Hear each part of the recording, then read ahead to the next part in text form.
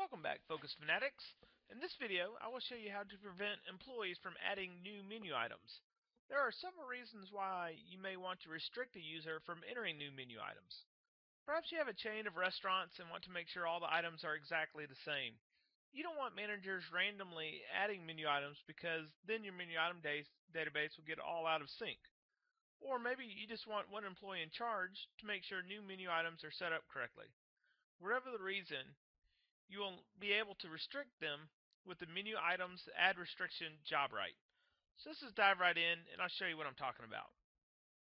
Traditionally, if you want to add a new menu item, you just go to menu, menu, menu item over here, and you can press the add button and just start typing in whatever you want and create your uh, new menu item. You can save and close if you want. But now, all you have to do is go to your job rights,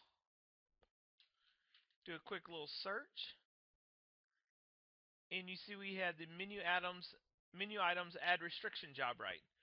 So if we turn that on, this means the job no longer has access to add new menu items. So we'll go back to our menu items, and now you'll see our add button is grayed out.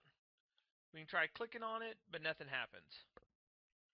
So now you can really control who adds new menu items to your uh, menu item database here. Well, Focus Fanatics, thanks for watching this video, and until next time, stay focused.